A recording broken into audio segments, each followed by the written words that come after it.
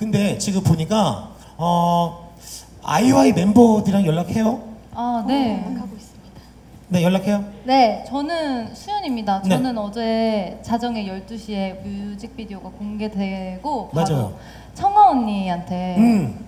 잘 봤다고 연락이 왔어요. 어 청아 양한테. 네. 그래서 뭐라 그랬어요? 고마워. 고마워. 네. 그리고 최경입니다. 네. 저는 오늘 오전에 도현 양한테 연락이 왔더라고요. 언니 우리 오늘 엠카에서 봐요? 이렇게 왔는데 어, 우리 오늘 봐 이렇게 답장을 했어요. 제가. 어 그래요? 답장 네. 왔어요? 아니요. 아직 안 왔어요. 네, 알겠습니다. 네. 아마 엠카에서 지금 리허설 중이라 아, 네, 네, 아마 네. 못했을 거예요. 네 그렇습니다. 네.